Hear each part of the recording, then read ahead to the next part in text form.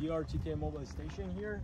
I want to put a battery in it. To put the battery, we will slide this down, pull it out, and then place it in.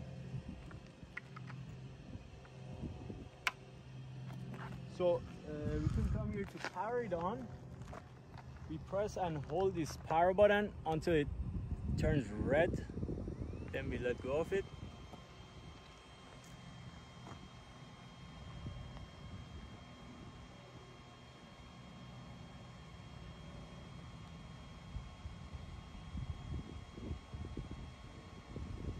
So the number of times this green light is blinking is the mode that your DRTK mobile station is on. Depending on what drone you use, you need to select the right mode for that drone. Like for the uh, T20P is uh, mode 5, so this is already on mode 5. This is your linking button, and when this one is green, it means it's connected to enough satellites.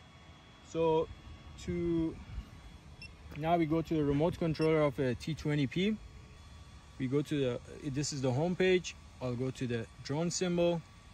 Then I scroll down, there is the DRTK2 mobile station. I click on that, then I press linking. It shows the RTK that is on and close to us. I will press the linking button here and you see this already turned green. It means it locked uh, the GPS. So I will click on it and I will press RTK it's already linked.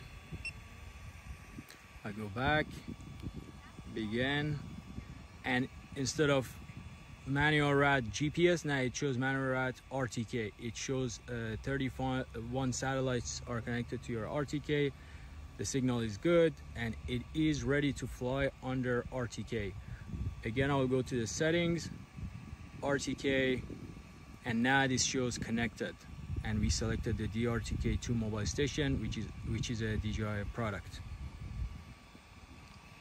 So okay that's how you link uh, the DJI DRTK antenna to an Agras T20P and that's our Agras T20P right there.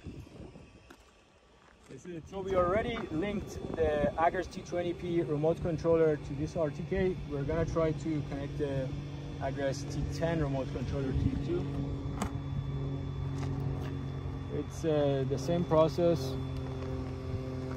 I go to the drone symbol here look for RTK mobile station linking switch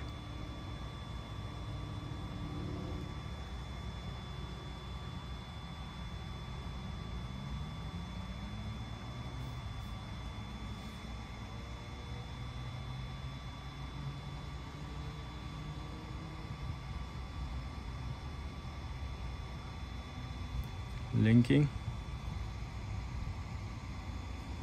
What's that link button on the you don't have to it found it already. So I click on it.